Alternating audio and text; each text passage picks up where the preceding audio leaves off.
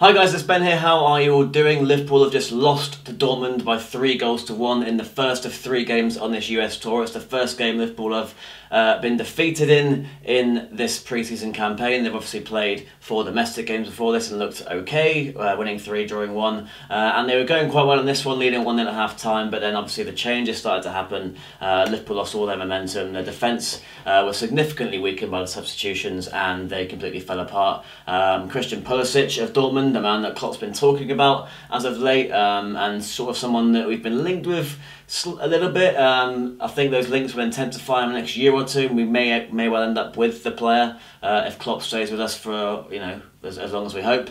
Pulisic may well be part of his long term vision, but at the moment, as Klopp said, um, he's very much a Dortmund player and he's developing well there. And we saw today firsthand exactly what he, he can do. He scored the penalty after winning it, it albeit in rather controversial fashion, and then he scored the, the second, which was a lovely, lovely finish right in the bottom corner, which Karius didn't even die for, and the third. Um, he's involved again, and Karius doesn't flatter himself. And again, I mean, I glanced at Twitter um, to see what they're saying about Karius. Yeah, I, I, don't even know if being a second choice is is feasible for him right now. Um, I mean, can you imagine what the, the conversation would have been like if we hadn't signed Alisson yet and Karius had done this? It would be murder. There's absolutely no competition for number uh, number one at Liverpool now in goal. Um, Mignolet's been linked with a move to Barcelona, which is bizarre. Um, and Ward's gone. I mean, it looks like Karius is going to be our number two, so that's going to be good fun. But anyway, Liverpool disappointing today, um, having got the 1 0 lead through Virgil van Dijk, who was a colossus at the back in that first half. Um, I thought he. Fabinho, um, I thought Robertson was great. His delivery was great all after all afternoon over there, evening here. Um, Liverpool did okay on the whole. Uh, defensively looked okay. First half weren't troubled. Going forward, it wasn't great. Um, Origi, I know I keep mentioning him, him, but he just seems to can't even find a teammate at the moment. He's, he cannot seem to pass the ball to a man wearing the same colour as him. It is just literally that simple, and he's not a goal threat either. Um, Solanke, you played the second half, you can kind of issue the same sort of criticism at. You just don't see how he scores 10 goals in a Football League season for Liverpool Football Club at the moment. I know he's young, I know he needs a run of games and whatever, I know this system maybe doesn't quite suit him, um, and I know you know he wasn't necessarily Klopp signing, you know, but yeah, it's not promising for either of those guys. Origi, you'd think, is definitely going to go. Solanke needed a good um, pre-season. You could still have one, but hasn't got off to the best start. Uh, he just doesn't look like scoring. He had a, a, pretty easy chance from a header second half that he put wide from less than six yards out, so that's not ideal for him.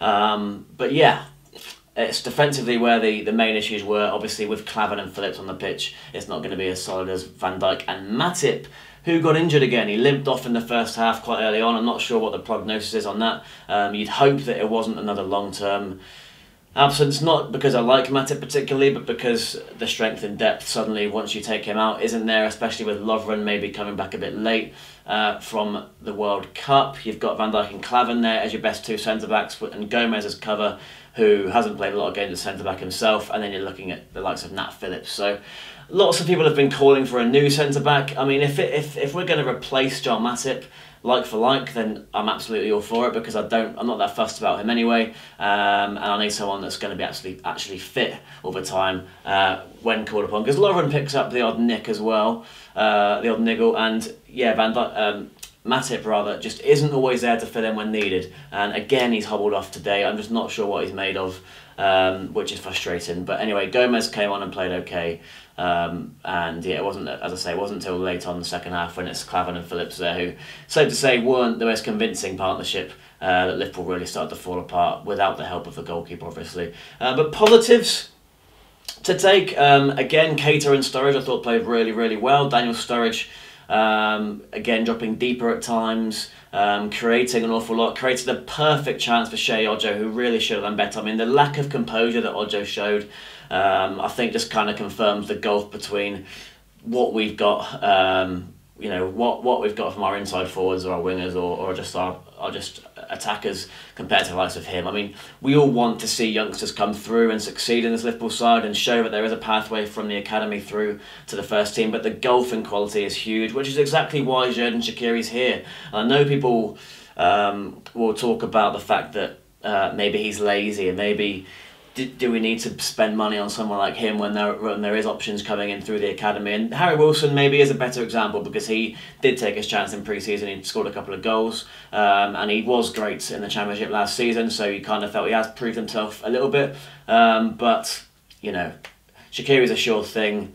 Um, these guys aren't at the moment, unfortunately. Um, so that's where we are with that. Sheyi Ojo really should make it 2 0, and then Liverpool probably go on to, well, they do go on to win the game if that does happen. Um, but it was great creativity from Daniel Sturridge. And Naby Keita showed things that I've not even seen him do yet. We, we know he can win the ball high at the pitch and play a pass, but he was great. In, he was great in little intricate moments when he had like two or three players to beat um, on the touchline. He was he, he found ways to get around them. He just makes something out of nothing. He really does look like a complete footballer. He's got the the skill and the close ball control of Coutinho, but he's also got the, the burst of pace, uh, the tackling. Um, he can shoot. Uh, obviously, Coutinho can as well. But I'm just talking about how complete a player is. Naby Keita looks like an absolute star. Um, and yes, I know it's second half when he comes on when Liverpool fall apart, but those two things, as far as I'm concerned, were not um, correlated uh, too much. So it's disappointing for Liverpool, obviously. Um, we, we tried out a couple of different things in midfield again. Milner again playing slightly deeper, and we really did miss Fabinho second half. Um, Wijnaldum obviously wasn't there either, so we didn't have a natural number six. Keita was pushing forward quite a lot, um, not neglecting his defensive duty, but I mean he's obviously instructed to, to push forward because that's where his the bulk of his quality lies. Milner just looked a bit lonely and overran there in midfield second half, and allowed Pulisic to make runs at him um, and make him look, you know, quite ordinary at times. So tactically it wasn't perfect second half. Um, obviously the absentees play a big factor. But I mean, what were your thoughts? Is there anything that really, really concerns you? For me, it's the strength and depth in attacking areas still um, is an issue in so much as Origi and Solanke aren't doing anything because obviously last season we did rely on Solanke off the bench quite a lot and I imagine you know that may still be the case this season. Obviously Sturridge is there, but can you rely on his fitness?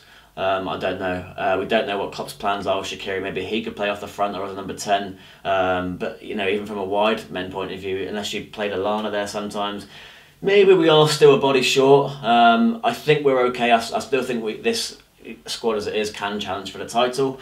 Um, lots of you will disagree, of course, because you, you're obsessed with Nabil Fekir. Um, the, the only reason I'm not obsessed with Nabil Fekir is because I've trained myself now to think that we're not signing him, even though I've been saying that he, we we will. Um, I just don't know, and I don't want to answer all the questions about Nabil Fekir anymore because it's getting really boring, don't you think? The Nabil Fekir saga is getting really boring, um, so let's forget about that. Let's just concentrate on the times ahead, the squad we do have, which will be vastly improved by the time we play Man United in the third game of this tour when um, when Salah and Mane are here, uh, Shaqiri, um, not quite Alisson. I think he's uh, in in a camp in France, and obviously not. Um, not not the England lads, um, and not Firmino either. So we'll see how it goes. Let's not panic. Um, we lost we lost a friendly to Dortmund. Um, there were some positives, but there were some glaring negatives. The goalkeeper obviously being the biggest one, um, and Matip's injury, of course, as well. Uh, other things to pick up on in the first half. I didn't think Lallana had his best game. I thought he was a bit off the pace a little bit. Um, it was a big pitch. So, you know, I'd have thought he would have been able to find some space and create some chances but it wasn't to be. Curtis Jones showed some good touches, but again, I, I just think that there, there wasn't much fluidity in the first half from, from either side, to be honest. I mean, we, we go in 1 0 up through that, through that Robertson uh, cross and Van Dijk header, which is, you know, these things happen from set pieces. But um, second half when the game really opened up and we didn't have the quality on display to be able to, you know, double our lead event in, in the in a way that we should have Sheyi Ojo. I think Sturridge did all he could, Keita did all he could. Um, they were again the standouts, but Liverpool lose the game. We go from there. It's Man City on Wednesday. I mean, they lost to Dortmund the other day as well. Um, so we face them in New Jersey, a game, as I say, I'll be at. So I'm looking forward to that one. Uh, make sure you follow me on Instagram, A, to see content from that, and B, for a chance to win any Liverpool shirt of your choice. I'm giving it away on Monday night. Um, so follow me on Instagram to see my latest post and see how you can enter. And then you're going to need to be following me on Snapchat to find out the winner. So make sure you're following me on all those platforms, as Ben might say, and all of those. Subscribe to this channel if you're new for more content, and I'll see you next time.